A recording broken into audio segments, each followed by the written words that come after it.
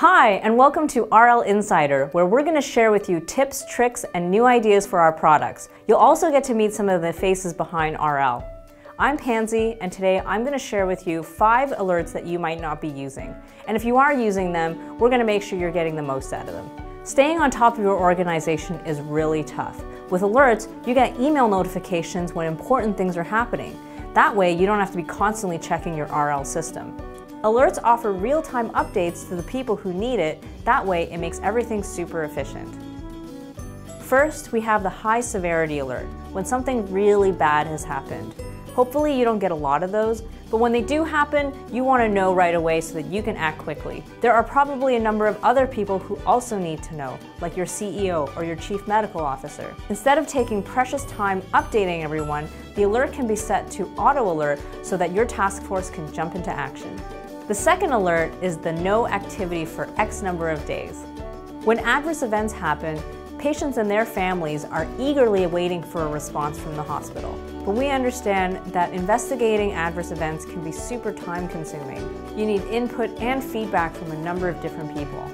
The No Activity Alert helps you to monitor events that haven't been touched in a certain number of days. And the number of days can be completely customized. And that way, you can get back to patients and families as quickly as possible.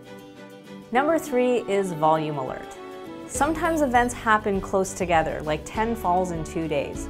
Those ones are easy to spot, but sometimes they don't, and they happen over a long period of time, and you're relying on your memory to piece those things together.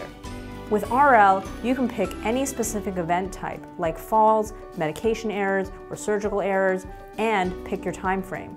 For example, if you have more than five surgical errors within 60 days, it'll let you know.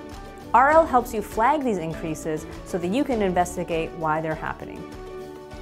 The next alert is the frequent faller admitted alert. Once in a while, patients have to come back to your hospital. If the patient has fallen before, we can let you know when they're admitted, so you can take the necessary precautions to make sure they don't fall again. For example, let's say you have a patient who's known to be very thirsty all the time, and he often tries to get up to get his own water. This can lead to a higher risk of falling. Why not have a pitcher of water by his bedside the next time he comes back? These little things can go a long way to ensure the safety of your patients. And last but not least, the specific event type alert. Maybe you recently rolled out a brand new patient safety initiative that you want to keep track of. Or maybe you want to be notified anytime you have a never event. You may also have different committees for different events. This alert is ideal because it lets you and your committees know exactly when specific events happen. That way, you can stay on top of the things that you care most about. And as with all alerts, you can customize what alerts you get and who gets them. Thanks for watching this video, and if you're part of the RL family, I hope this gives you some ideas on how to get the most out of your RL software. To learn more, be sure to check out our training videos in the Support Center. If you're not part of the RL family yet, we'd love to show you these alerts and much more. Click here to contact us.